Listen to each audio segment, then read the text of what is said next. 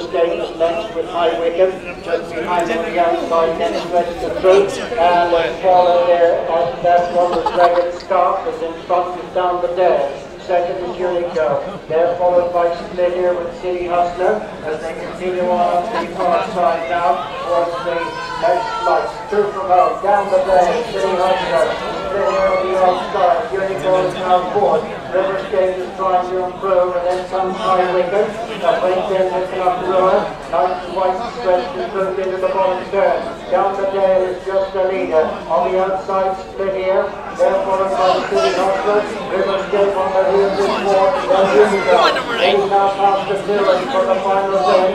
It's down the dale, Split here on the outside. Coming there strongly now. And then it's the buddy. Come on, buddy. Come on, buddy. Come on, buddy.